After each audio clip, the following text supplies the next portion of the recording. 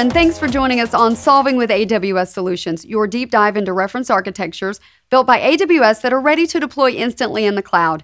I'm Allison, and I'm here today with Tom to talk about the Media2Cloud solution, one of my favorites. Media2Cloud helps you streamline, automate, and set up serverless end to end ingest workflows to manage large video content and migrate your video and associated metadata into the cloud. All right, let's see how this works.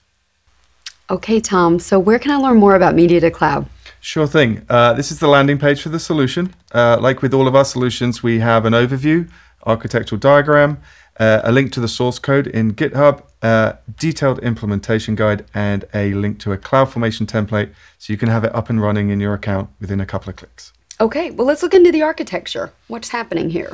Sure. This is the uh, uh, architectural overview. There is a lot going on here. Uh, but essentially, we are driving a workflow through AWS step functions. And we have an ingest process, uh, an analytics process, and then a labeling process. All right, so understanding the process, what about if I have content in S3 already? Can I use that with Media2Cloud? You certainly can. So the solution is driven by the content being in S3, but it can either already exist there and you can start using the solution, you can bring new content, or if you have content that's in Glacier, uh, the solution can actually automatically move that uh, content back into a regular S3 storage so that it can be run through the workflow. Okay, fantastic. And I see that you have MediaConvert as an element here. I think of that as a transcode service. Why are, are we using that in Media2Cloud? Yeah, let's let's take a closer look at the ingest process and, and why we're using MediaConvert. Um, so you either have a video in S3 or you're going to upload a new video. Uh, and typically, if we're talking about masters, then that's going to be very large file formats in in terms of gigabytes. Um, you know, four to ten gigabyte files. And we don't want to take a large file like that and run it through all of these services because that's just going to generate cost. Um, so MediaConvert is used to create what we call a proxy version of that video, which is a much more compressed version that we can then process through the workflows and it's just going to be quicker and it's going to be cheaper.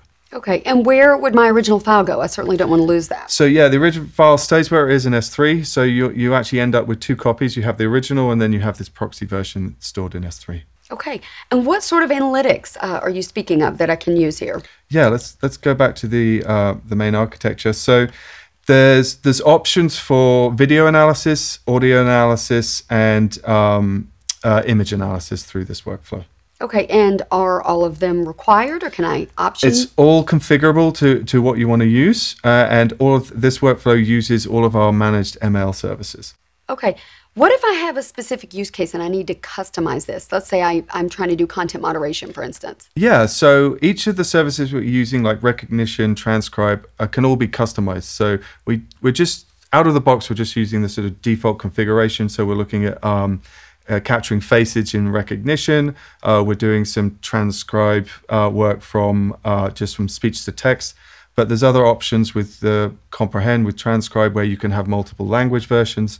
Uh, and really, this this whole area can be changed and configured to whatever your needs are. Oh, fantastic!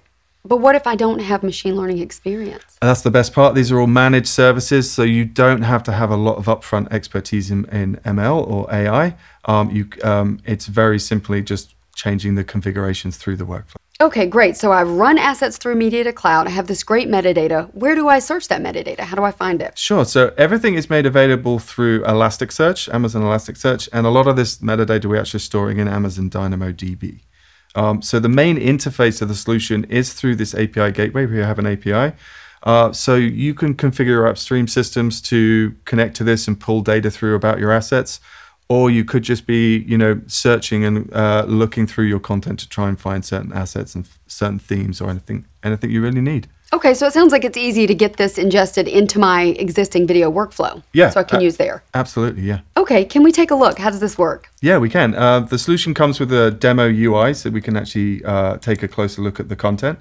Um, so here i have a video of andy that i've uploaded um, if we take a closer look, you can actually play the video. So this is the proxy version that, that we're seeing. Okay. Uh, we have some general information. Uh, we have some metadata about the actual file itself. Um, so number of audio tracks, you know, the resolution, things like that. Um, and then we have details on the various jobs that we ran through our machine learning services. Um, here's our transcribe. So we have the Ooh, speech okay. to text.